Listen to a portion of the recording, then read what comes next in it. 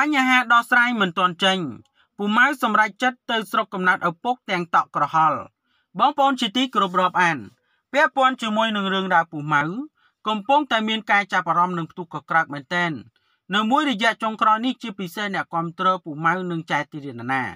ដែលចង់ឲ្យចែកទីរណានិងពូម៉ៅអាចរស់នៅជាមួយនឹងគ្នាវិញ ជាពិសេសប្តីប្រពន្ធមួយគូនេះហើយធ្វើកិច្ចការងារសង្គមបន្តបន្តទៀត ការរស់នៅតែឯងមិនស្រួលដូចមានគូទេយ៉ាងណាក៏ដោយបញ្ហានេះហាក់បីដូចជានៅឆ្ងាយណាស់ពីព្រោះថាចែកត្រីដាណាគាត់ជាមនុស្សដែលរឹងមាំបំផុតមិនងាយនឹងចោះចាញ់និងមិនងាយនឹងវិលបកក្រោយឡើយពីព្រោះថាចែនៅតែ ដាក់កំហិតខ្លួនឯងថា នៅតែដាក់ពាក្យបណ្ដឹងលែងលះជាមួយនឹងពូខ្មៅឲ្យទាល់តែបាន យ៉ាងណាក៏ដោយពូម៉ៅនៅតែទៀមទាចង់ជួបជុំក្រុមគ្រួសារវិញ ហើយចង់មកមើលថែប្រពន្ធកូនដូចពីមុនដូច្នោះកុំឲ្យប្រិយមិត្តរបស់យើងរងចាំយូរសូមមេត្តាជួយ Subscribe និង Like ដើម្បីទទួលបាននូវព័ត៌មានថ្មីថ្មីបន្ថែមទៀតដោយដែលប្រិយមិត្តបានជ្រាបរួចហើយថា កាលពីពេលកន្លងទៅថ្មីថ្មីនេះអ្នកស្រីត្រីដាណាធ្លាប់បានបង្ហោះសារបង្គាប់ និងបង្អាប់ម្ដាយក្មេករឿងនិយាយដើមខ្លួន និងលើកសរសើរចំពោះឪពុកក្មេកដែលចង់ឃើញតែកូនបានសុខមិនដែលរករឿងនិយាយចាក់ចោចជាមួយនឹងរឿងកូននោះទេងាកទៅមើលពូម៉ៅវិញទោះបីជាដឹងកំហុសគ្រប់យ៉ាង រហូតសម្រេចចិត្តសុំទោសភរិយាតាមរយៈវីដេអូ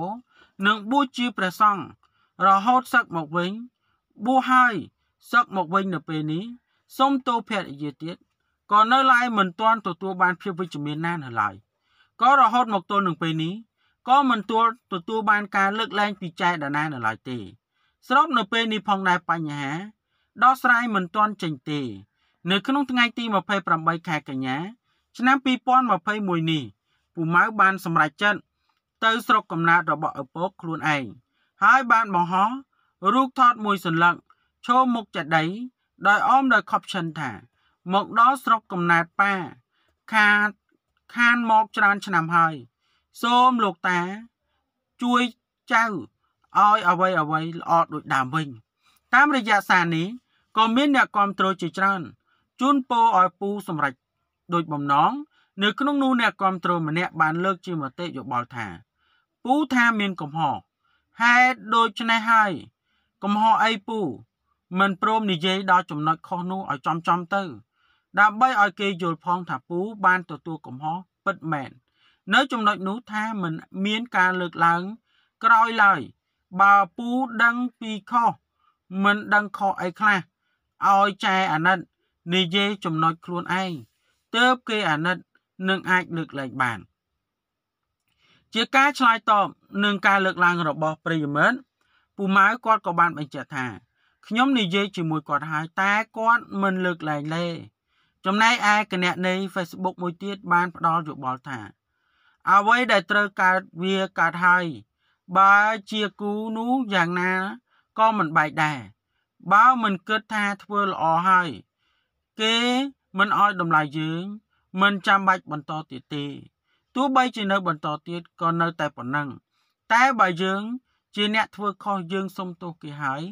គេមិនអត់ទោសឲ្យយើង វាជាអ្វីដែលគេមិនចង់បន្ត